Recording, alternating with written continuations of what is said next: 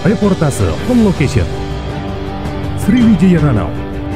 Grand Pondo 2020.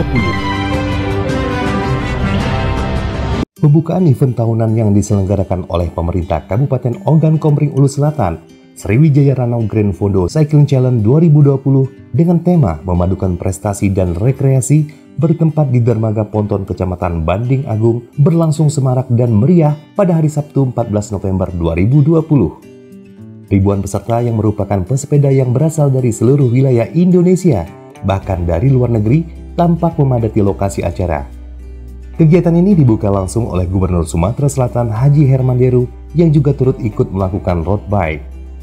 Penyelenggaraan event skala nasional di tengah pandemi ini telah memenuhi standar kesehatan dengan menerapkan protokol COVID-19 sebagai upaya pencegahan penyebaran virus corona. Untuk menghindari terciptanya kerumunan, pelepasan peserta dibagi menjadi tiga gelombang dan mengatur jarak tiap peserta. Selain itu, seluruh peserta dan pengunjung yang memasuki kawasan start dan finish diwajibkan memakai masker untuk menjaga diri masing-masing dan keamanan bersama.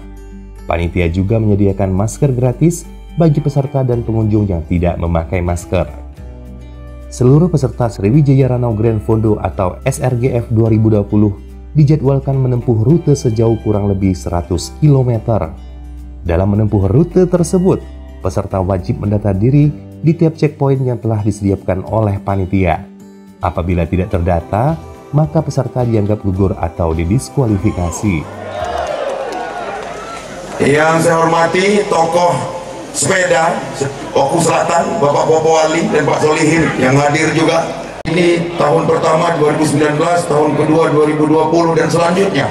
Kita inginkan setelah tiga kali kita menyelenggarakan ini dengan baik, maka berikutnya akan menjadi series sebagai agenda nasional untuk Grand Pondok.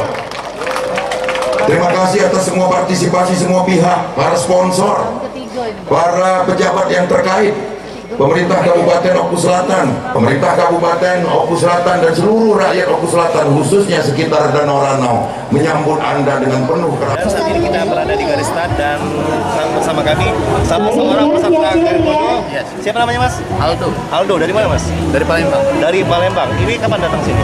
Datang sini kemarin. Kemarin ya. Apa persiapan untuk mengikuti Persiapan yang pastinya kita harus nyari tempat tidur itu. Tidur itu minimal 8 jam. Minimal 8 jam. lalu kita juga bawa energi gel bawa minuman energi juga kita. harus cek juga secara personal atau dari tim? Saya dari tim tim Joker, Joker Cycling Team. Oh iya. Untuk menyemarakan kegiatan ini, panitia juga menyiapkan hadiah untuk para peserta yang berhasil mencapai garis finish dan juga door prize untuk para pengunjung. Yang menarik, selain hadiah yang telah disiapkan oleh panitia, Gubernur Sumsel Haji Herman Deru menambahkan untuk hadiah juara pertama berupa satu buah mobil dan juara kedua satu unit sepeda motor. Sedangkan untuk door prize disiapkan hadiah berupa peralatan elektronik.